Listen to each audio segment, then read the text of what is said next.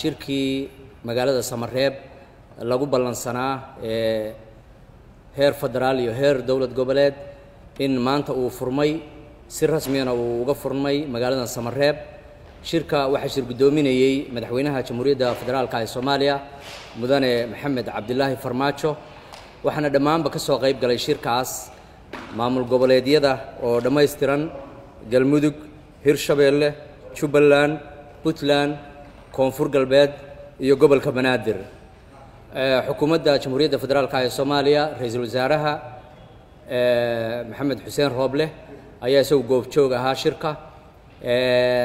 Madaxweynaha iyo ra'iisul wasaaruhu waxay tilmaameen muhiimadda ay soomaalida u leedahay wakhtigan muhiimka ah midnimada inay doorasho ku galaan midnimo taas oo ka turjumaysa midnimada ummadda soomaaliyeed waxaa shirkan loo fadhiya sidaad wada ogtihiinba uu soo bilaabmay qaybihiisii hore muddo dheer oo magaaladan samareeb uu ka bilaabmay. Waa tii aad ogeydeen in muqdisho uu toddobiyo tobankii sebtembar sannadkii dhowaan dhammaaday ee laba kun iyo labaatan ay madaxdu wada gaadheen heshiiska iyo hanaanka doorashada iyo habraacyada doorashada lagu gelayo.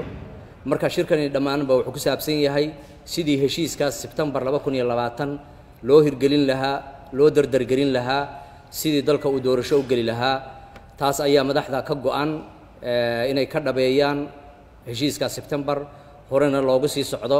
Maanta wadahadalladu waa bilaabmeen waana furmeen. Dhammaanba madaxdu waa ka soo qayb gashay. Si niyadu sami leh oo wanaagsan ayaa shirku u bilaabmay.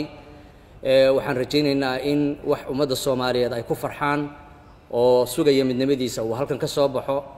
Madaxweynaha jamhuuriyadda federaalka ee soomaaliya mudane maxamed cabdilaahi farmaajo sidii uu ballan qaadayba isagaa ku baaqay shirkan. Waxaana shirku uu ahaa inuu bilaabmo kowda bishan febraayo ee aynu ku jirno. Madaxweynuhu arrintaa wuu ka dhabeeyey kowdii febraayo waxa uu yimi magaalada samareeb si uu shirkii uu ku baaqay halkan uu uga furmo.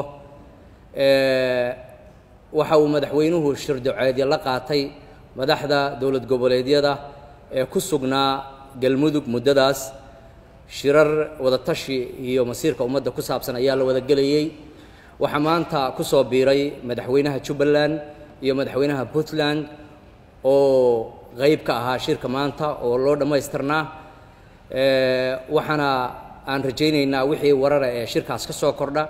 In sha allah biidni illahi alkariim inaan idinla socodsiino marka ay soo baxaan